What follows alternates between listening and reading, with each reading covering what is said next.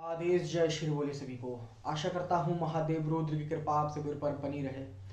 बहुत से तांत्रिक होते हैं जो पैसे के चक्कर में, जो ईर्ष्या के चक्कर में, जो जलन के चक्कर में या फिर अपने आसपास के जो लोग होते हैं, उनको दबाने के लिए, उनको डराने के लिए छोटे मोटे तंत्र प्रयोग करते रहते हैं, शक्तियाँ छोड़ा करते हैं, उनके ऊपर ऐसे ऐसे प्रयोग करते हैं, जिसके वजह से व्यक्ति की बुद्धि भ्रमित हो जाती है, बुद्धि बंधन में हो जाती है, लक्ष्मी बंधन में हो जाता है, और उसके कार्य करने की, दिमाग के कार्य करने की क्षमता वो खोने लगता है, जिसके वजह से क्या होता है, वो अपना मानसिक संतुलन खो बैठता है।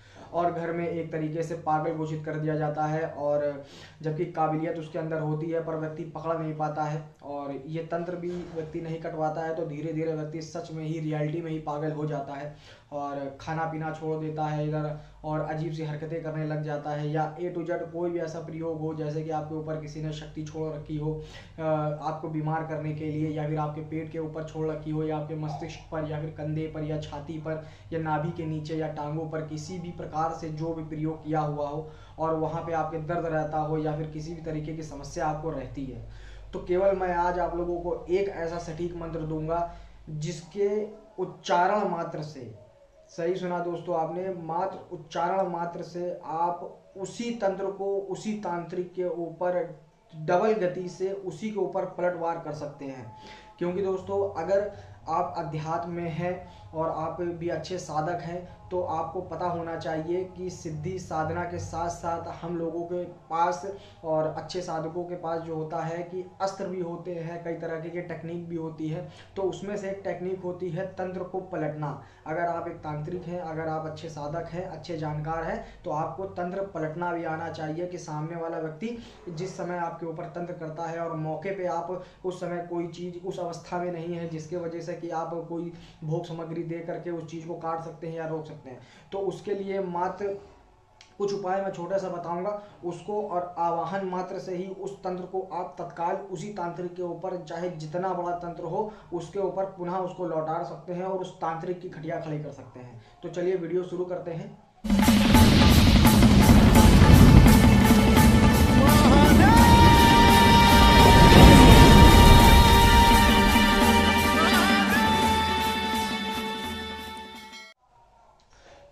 बात करते हैं उस मंत्र के विषय पे। दोस्तों शाबर मंत्र है और शाबर मंत्र की खास बात आप जानते ही हैं कि 108 बार यानी कि एक माला जाप कर लेने से अमावस्या पे या ग्रहण पे या फिर आप होली, दिवाली या किसी भी शुभ अवसर पर आप जाप इसको कर सकते हैं। एक माला जाप करना है और एक हज़ार आहूतियाँ देना है। ये दोनों में से आप एक चीज़ कर सकते हैं। अगर आप जाप करना चाहें तो आप जाप कर सकते हैं। अगर जाप करेंगे तो एक माला जाप करेंगे और दस आहूति दे देंगे या फिर एक हज़ार आहूतियाँ केवल आप हवन कुंड में दे देंगे और उसमें ये मंत्र आपका सिद्ध हो जाएगा और सिद्ध करने के बाद चेटक कार्य करने लग जाएगा। पर दोस्तों, इस मंत्र को आप बेवजह यूज़ मत करना, क्योंकि ये बेवजह यूज़ करने से इसकी जो पावर लेवल है, जो क्षमता है, वो कार्य करना कम कर देता है, जिसकी वजह से मान लीजिए कि जिस समय आप परिस्थिति से घिरे हों उस तरीके की और उस समय आप इस चीज़ को प्रयोग करेंगे तो वो पूरी तरीके से काम नहीं कर पाएगा। ठीक है? तो ज़्यादा देर ना करते हुए मैं आप लोगों को मंत्र बता देता हूँ दोस्तों। मंत्र इस प्रकार से है, ओम उल्टत नरसिंह पलटत काया एही ले नरसिंह तोहे बुलाया। जो मोर नाम करत सो मरत परत भैरव चक्कर में उल्टी वेद उसी को लागे।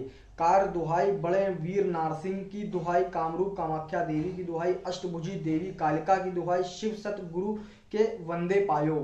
मंत्र दोबारा से सुन लीजिए दोस्तों, ओम उल्टत नरसिंह पलटत काया अहिल नरसिंह तोहे बुलाया। जो मोर नाम करत सो मरत परत। भैरव चक्कर में उल्टी वेद उसी को लागे। कार दुहाई, बड़े वीर नारसिंह की दुहाई कामरू कामाख्या देवी की दुहाई, अष्टभुजी देवी, कालिका की दुहाई, शिव सत गुरु के वंदे पायो।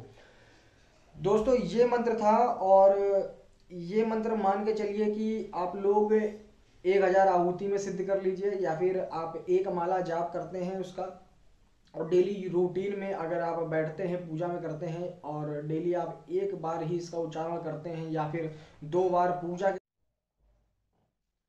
दो बार पूजा के दौरान आपको मात्र उसको जाप कर लेना है, उंगली पर ही जाप कर लेना है, और एक मिनट के अंदर जाप हो जाएगा। पर दोस्तों, इसको अपने मौके पर काम लीजिएगा, बेवजह इस पर यूज़ मत करिएगा कि पता लगा किसी को आपको लगा जरा सी दर्द हुआ और आपने घुमा दिया तो इससे क्या होगा? इस मंत्र की जो ऊर्जा है वो क्षीण होती रहेगी और मान लीजिए जब ज़रूरत पड़ेगी तो उस समय आपका कोई काम करने के योग्य नहीं रहेगा वो मंत्र। तो इस चीज़ को मौके पर यूज़ करिएगा। यूज़ कैसे करना है मैं ये आप लोगों को बता देता हूँ। यूज़ इस प्रकार से करना है कि जैसे मान के चलिए आपको लगता है या आपको कहीं से जानकारी लगती है कि सामने वाले तांत्रिक ने आपके ऊपर प्रयोग कर दिया है या शक्ति छोड़ दी है, ठीक है? तो आपको क्या करना है? दो लॉन्ग लेनी है या पाँच लॉन्ग लेनी है या सात लेनी है या ग्यारह लॉन्ग लेनी है, ठीक है? जिस प्रकार का आपके ऊपर प्रयोग किया गया है, तंत्र किया गया, जितना बड़ा तंत्र होगा, उतनी ज़्यादा लॉन्गे आपको यूज़ करनी है। आपको कुछ नहीं, मुट्ठी बांधनी है। सर से घुमा करके मंत्र पढ़ते हुए जाना है, वो उल्टा उल्टा तबीर उल्टा नरसिंह पलटत काया ये ऐसे आपको पूरा ऐसे ही पढ़ते जाना है पूरी तरीके से।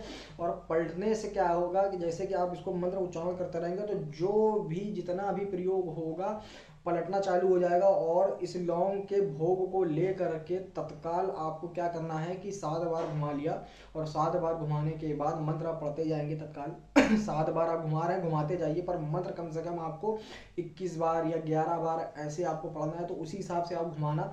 तो उससे क्या होगा कि जो भी प्रयोग होगा, वो धीरे धीरे धीरे धीरे क्या होगा कि वो पलटना चालू हो जाएगा और जब वो पलटेगा तो उस दौरान आपको क्या करना है कि उस लौंग को जब आप इक्कीस बार, ग्यारह बार घुमा लेंगे तो बीच चौराहे पर जा के या फिर कुछ ऐसे चौराहे पे जाइए जहाँ सन्नाटा हो या चलती रोड हो या मान के चलिए नाली हो या ए टू जेड कहीं भी ऐसी जगह हो तो आप उस जगह फेंक दीजिए और बोलिए कि जहाँ का तंत्र है वहीं पलटे और बस काम शुरू।